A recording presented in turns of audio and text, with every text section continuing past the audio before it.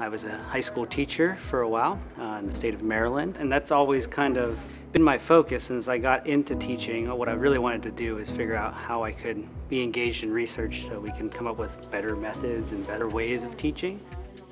All of my research and scholarship is on teaching and learning, and I think having the opportunities to expand upon that here is, is really exciting. And there's so many things that the university is doing. The award is a nice thing to kind of show that, that emphasis on trying to improve undergraduate teaching and learning. It is an exciting thing, um, especially since it kind of comes from the students, but uh, it just kind of you know, really shows the, the emphasis and importance that they place on teaching at Purdue and all the opportunities to help give the students the best experience that they have here.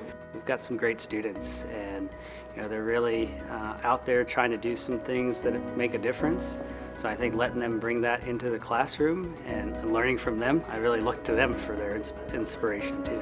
What I got out of the teaching experience is, the, biggest thing I always want the students to do is I, I don't want it to be treated like a class. I want it to be real. I want them to be involved in you know either their ideas or something that's happening in the community or doing outreach with other students so I can see where they can start building what they want to do in their lives.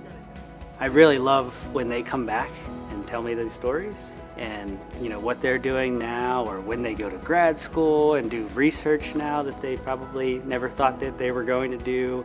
That's what I want to see. Like I, I want to give the opportunities to the students to be able to bring those stories back. And that's really where I see myself and, and what I do. So I'm here, I want to see where they go and you know see what they can do. And to see the opportunities that they can take from that uh, and what we're trying to teach them.